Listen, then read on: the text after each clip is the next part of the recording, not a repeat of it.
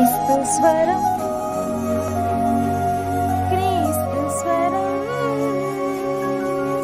యేసు క్రీస్తు నామంలో NT TV మరియు క్రీస్తు స్వరము అనే కార్యక్రమం వీక్షిస్తున్న. మీ అందరికీ ప్రత్యేక వందనాలు తెలుసున్నాను.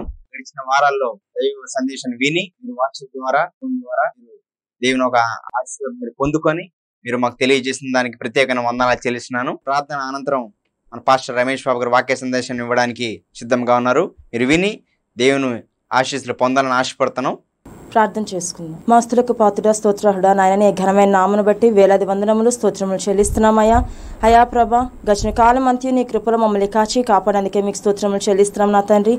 అయా ప్రభా నాయన ఈ యొక్క టెడ్డీ ఛానల్ ద్వారా నాయన ప్రభా నాయన క్రీస్తు స్వరము అని ఈ యొక్క ఈ యొక్క పరిచయ నిమిత్తమే నాయన ప్రభ.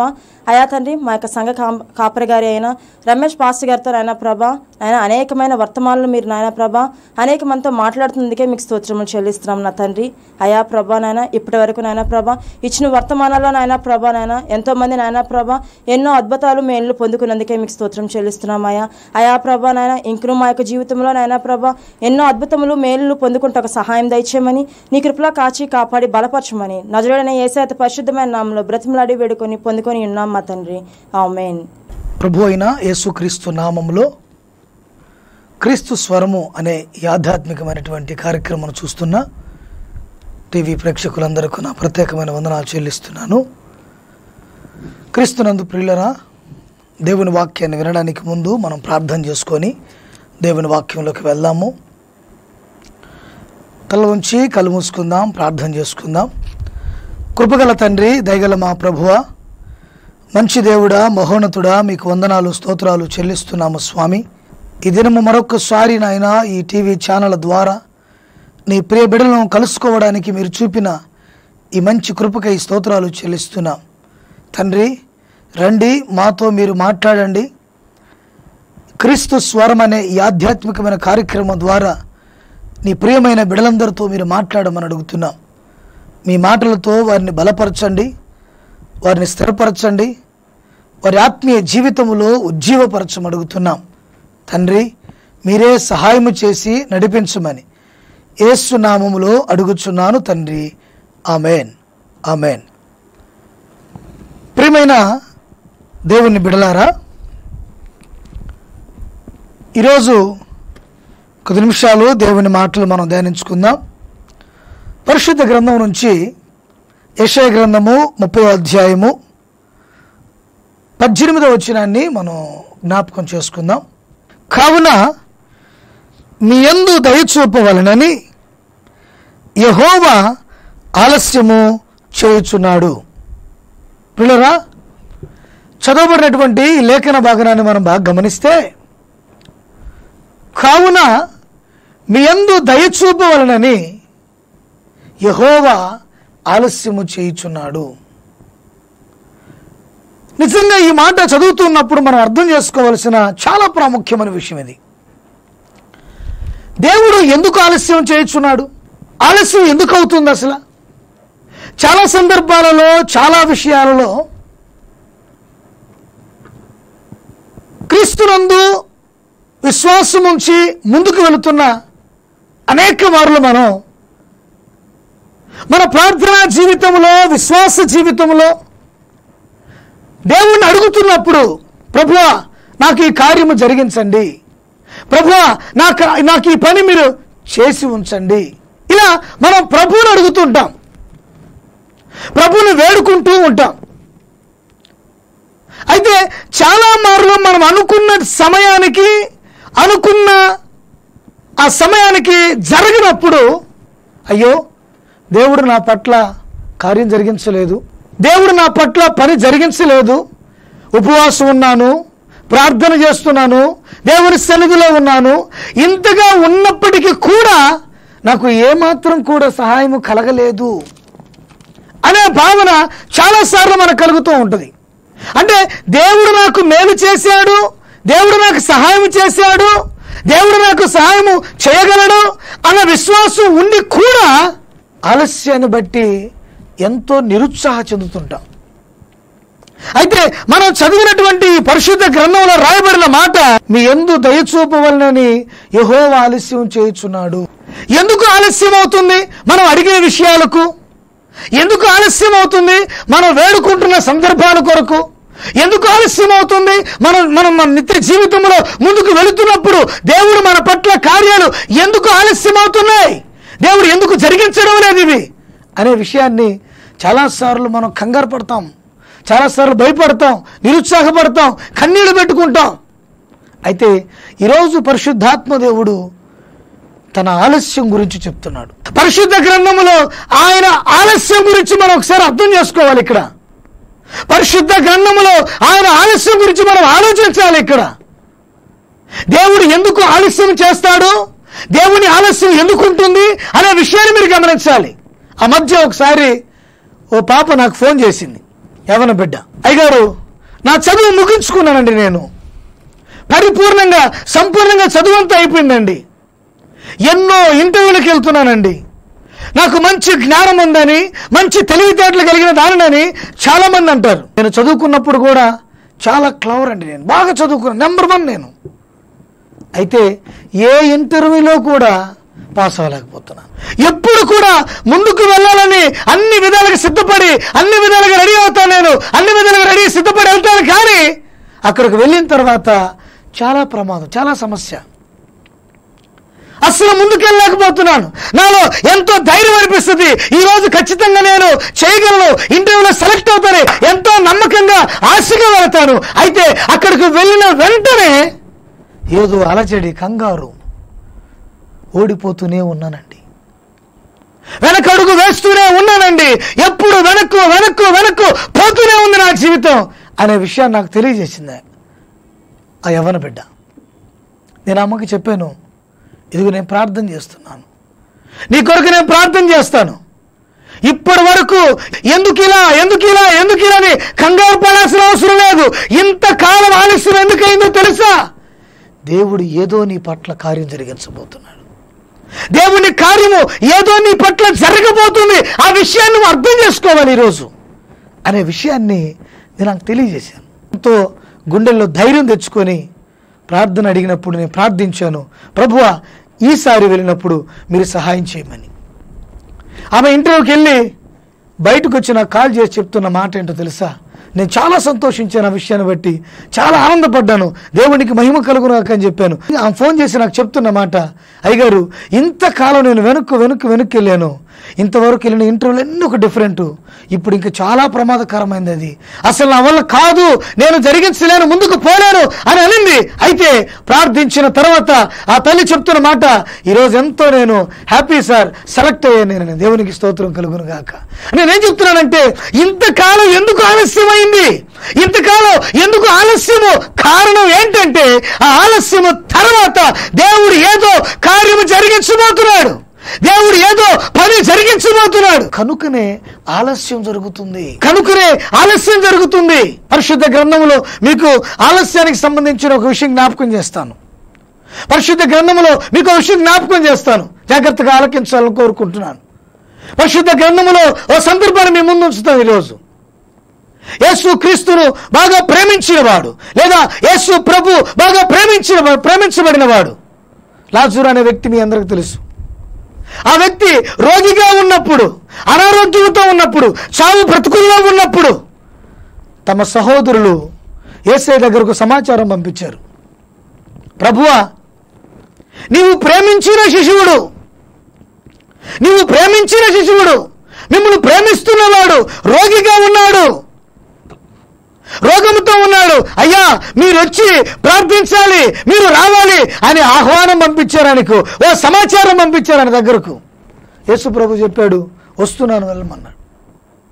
అయితే యేసు ప్రభు ఆ మార్గం గుండా ఆ గృహానికి లేకపోతే ఆ లాజర్ ఇంటికి వెళ్ళడానికి చాలా దినాలు గడిచిపోయింది. అప్పటికే వాడు చనిపోయి నాలుగు రోజులు అయిపోయింది. దేవుడు ఆలస్యం చేసేసాడు. అయితే పరిశుద్ధ గ్రంథంలో రాయబడిన ఆ మాట మీకు జ్ఞాపకం చేయాలనుకుంటున్నాను. రండి పరిశుద్ధ గ్రంథం తీసి ఒకసారి చూడండి. ఆ యోన స్వార్త పదకొండవ అధ్యాయంలో నుంచి పదిహేడవ వచ్చిన మీకు జ్ఞాపకం చేస్తాను. చూడండి. యేసు వచ్చి అది వరకే అతడు నాలుగు దినముల సమాధిలో ఉండినని తెలుసుకొనెను. బెతనియ వెర్షిలముకు సమీపం ఉండెను. దానికి ఇంచుమించు కోసెడు దూరము. గనుక యూదులు అనేకులు వారి వారి సహోదరుల గురించి మార్తను మరియు ఓదార్చుటకై వారి ఎదుకు వచ్చి ఉండిరి.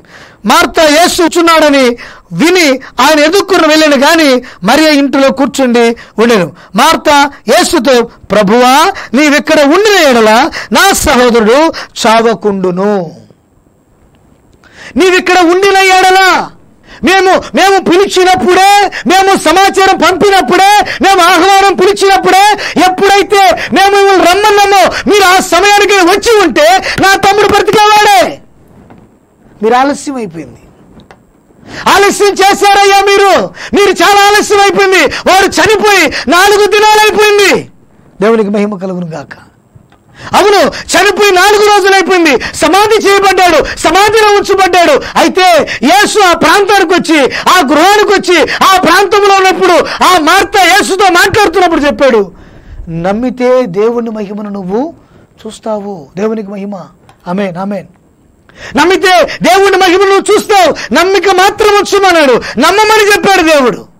పిల్లరా నాలుగు దినాలు అప్పటికి ఆలస్యం అయిపోయింది చనిపోయి సమాధి చేయబడ్డాడు. అయితే ఆ యేసు ఆ సమాధి దగ్గరకు వెళ్ళి ఆ సమాధి దగ్గర నిల్చుండి ఆ సమాధి వైపు చూచి కన్నీళ్ళు విడిచి ఆయన ఎంతో వేదన చెందాడు ఎంతో బాధపడ్డాడు ఆయన.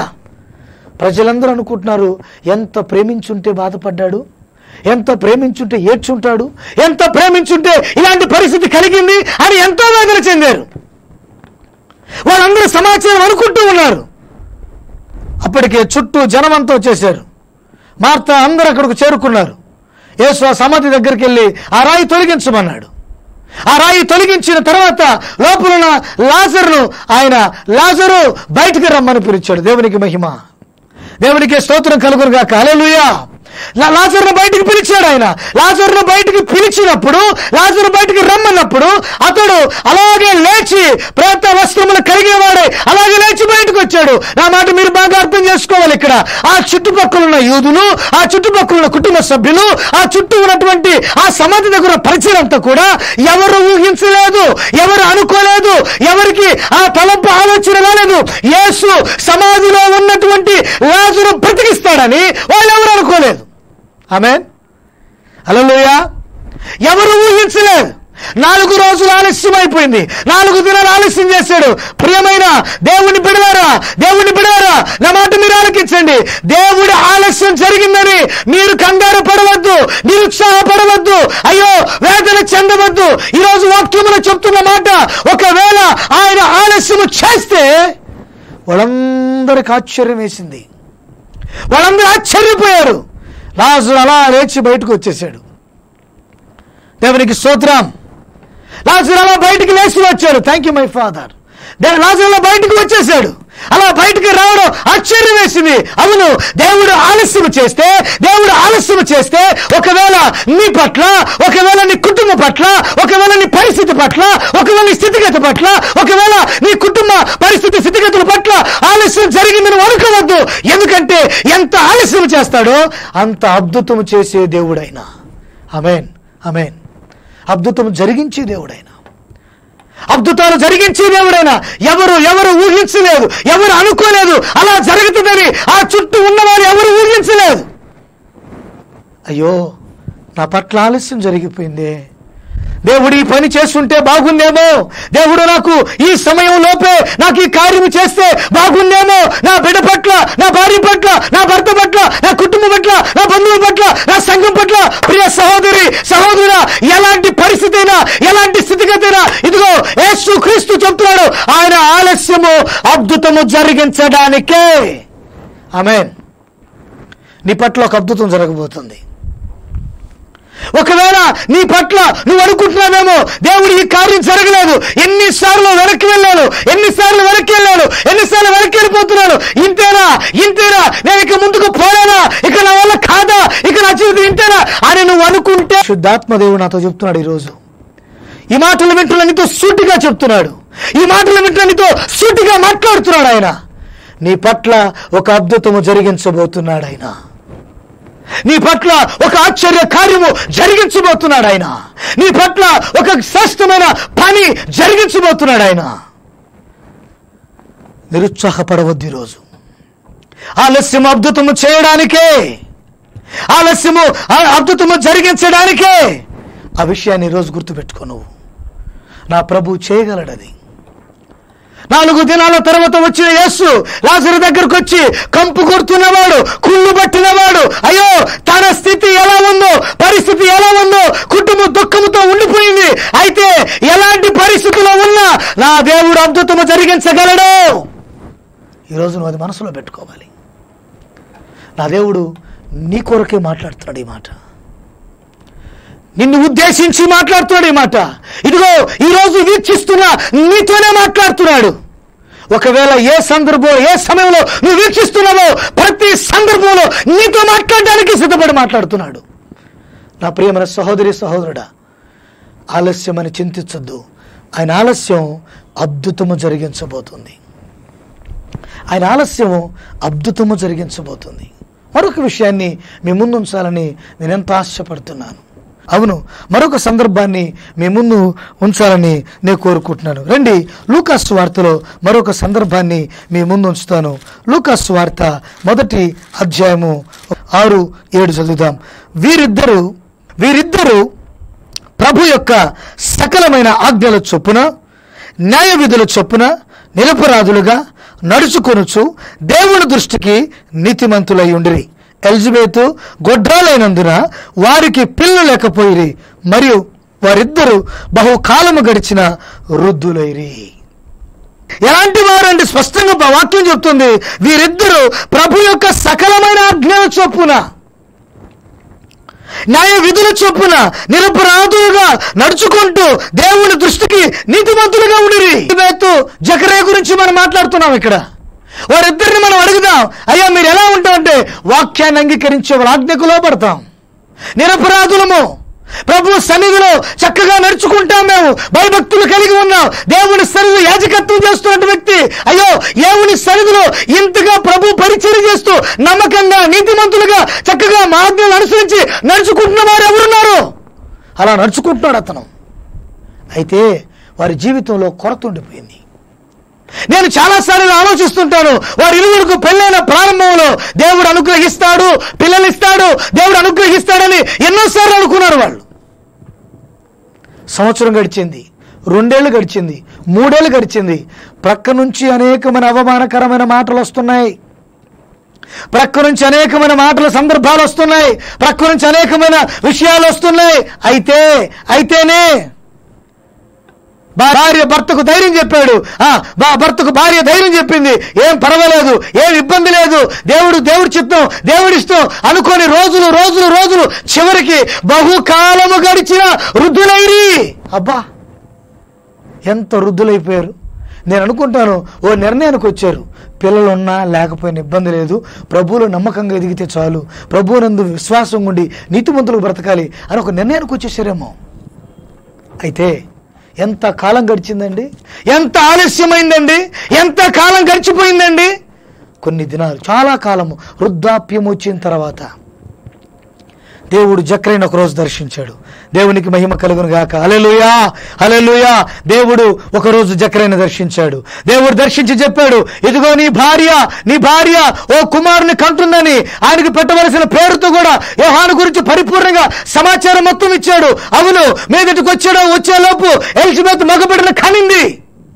ఎలాంటి బిడ్డ చెప్పమంటారా? పరిశుద్ధ గ్రంథం భూమి మీద ఉన్నంత కాలం చెప్పుకోదగిన బిడ్డ. అమేన్ ఇప్పటికీ యేసు గురించి మాట్లాడిన ప్రతి సందర్భంలో యోహాను గురించి మాట్లాడుతున్నారు. నా మాటలు మీరు అర్థం చేసుకోవాలి. ఎలాంటి కార్యం జరిగిందో చూడండి. ఎంత వృద్ధాప్యం వచ్చింది. ఎంత కాలం జరిగింది. ఎన్ని దినాలు జరిగాయి చూడండి. దేవుడు మేలు చేయలేదా? దేవుడు దేవుడు మేలు చేయలేదా? మొదటి విషయం చెప్పాను నేను. దేవుని ఆలస్యం ఎందుకంటే దేవుని ఆలస్యం ఎందుకంటే ఒకటి ఒకటి అద్భుతాలు జరగడానికే. రెండో విషయం చెప్తున్నాను. ఆశ్చర్యం జరగడానికి.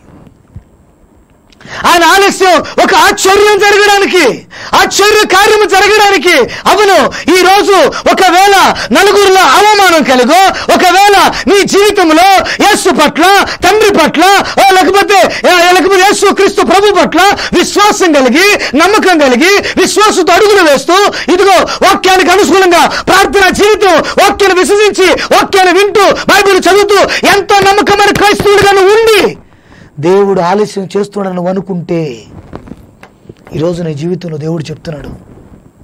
ఈరోజు ఒకవేళ నీ జీవితంలో అలాంటి సందర్భంలో నువ్వు అనుకుంటే నా ప్రభు స్పష్టంగా చెప్తున్నాడు దేవుడు నీ జీవితంలో ఒక ఆశ్చర్యము చేయబోతున్నాడు.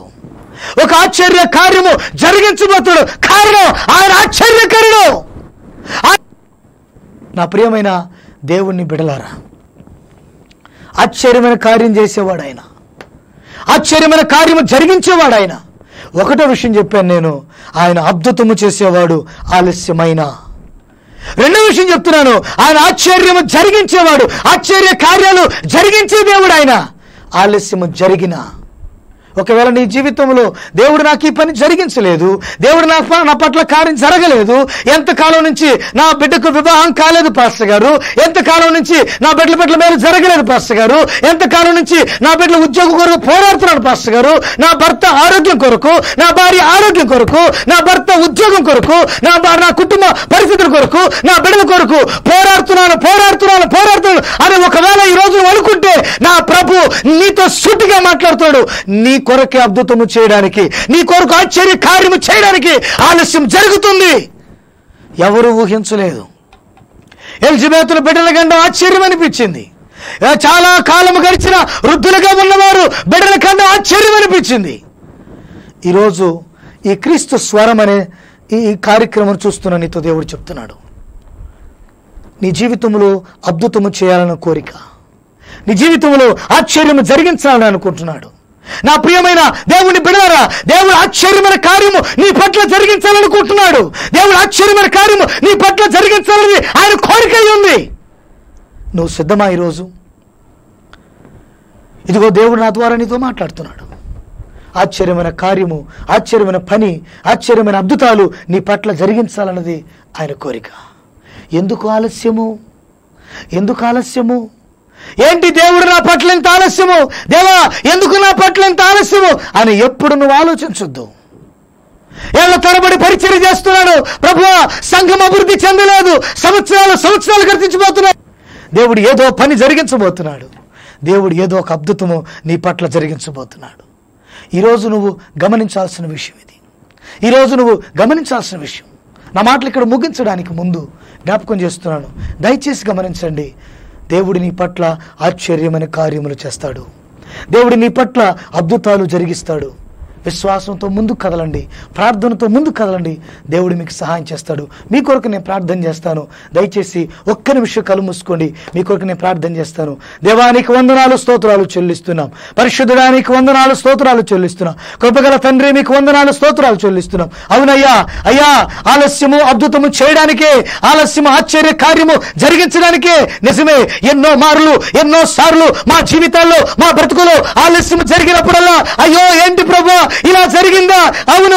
అయ్యా ప్రభు అని ప్రార్థించినప్పుడు జరగలేదని రోజు అనుకోవద్దు. ప్రభు నీకు ఆశ్చర్య కార్యము జరిగించబోతున్నాడు. నా ప్రభు నీ పట్ల కార్యం జరిగించబోతున్నాడు జరిగించబోతున్న కార్యమును బట్టి. ఇదిగో నువ్వు ప్రార్థనలు ఏకీపిస్తూ ఉంటే దేవుడు నీ కొరకే నీతోనే మాట్లాడుతున్నాడు. నీకే సహాయం చేయాలనుకుంటున్నాడు. ఆశ్చర్యమైన కార్యం బలపరుస్తున్నాడు. దేవుడు నిన్ను సహాయం చేయాలనుకుంటున్నాడు. ఆ కృపగల దేవుడు మనకు తోడుగుండబోతున్నాడు యేసుక్రీస్తు నామంలో ప్రార్థన చేస్తున్నాను తండ్రి. ఆమె వందనాలు. ప్రభు అయిన యేసుక్రీస్తు నామంలో ఈ క్రీస్తు స్వరం అనేటువంటి ఈ టీవీ ప్రేక్షకులకు నా యొక్క చిన్న విన్నప విన్నపము. దయచేసి గమనించండి. బయట ప్రపంచం మనం చూస్తున్నాం. కరోనా అనేటువంటి ఓ భయంకరమైనటువంటి వైరస్ ద్వారా అనేక మంది వ్యాధిగ్రస్తులుగా మారుతూ మరణిస్తున్నారు. ఓ భయంకరమైన వ్యాధిగా మరి గందరగోళం సృష్టిస్తుంది ఈ వైరస్ దయచేసి గమనించండి. మరి రాష్ట్ర ప్రభుత్వం నియమించినటువంటి ఆ సూచనల మేరకు అందరూ పాటించండి. అంతేకాదు మీ గృహాలు మీ మీరుంటున్న పరి పరిస్థితులు ప్రదేశాలు పరిస్థితులన్నీ కూడా శుభ్రంగా ఉంచుకోండి. చిన్నపిల్లలు పెద్దలు అందరూ కూడా మరి ఎప్పటికప్పుడు చేతులు వాష్ చేసుకుంటూ అందరూ చెప్తున్న విషయమే అయినప్పటికీ కూడా ఉన్న క్రీస్తు స్వరం ప్రేక్షకులకు ప్రత్యేకంగా నా విన్నపంగా చెప్తున్నాను నేను. దయచేసి కరోనా విషయంలో మీరు కూడా చాలా జాగ్రత్తలు తీసుకోండి. జాగ్రత్తగా ఉండండి. దేవుడు మనకున్నాడు దేవుడు సహాయం చేస్తాడు అద్భుతాలు చేసే దేవుడు మన దేవుడు.